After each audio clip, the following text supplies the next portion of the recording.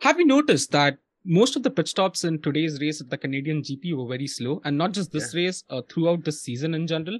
Uh, let's explore why uh, this, this has happened. Uh, the reason is twofold. One is that there has been a massive regulation change in terms of the tires.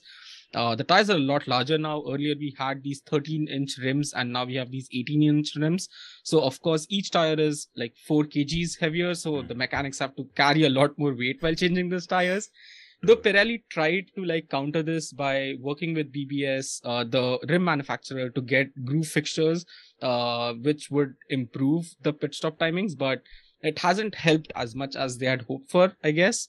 Uh, the second reason for it is also a massive regulation change in how the pit stops are conducted. There has been a mm. change in terms of uh, earlier the teams had a single button for the wheel gun and to indicate that the uh, tire change is complete. But now they have an extra button press that they have to do uh, to indicate that this wheel has completely been uh, switched and which basically adds about 0.2 seconds uh, to their pit stop. And thus uh, even these small increments add up and lead to a slower pit stop. And now you know why pit stops were slower at the canadian gp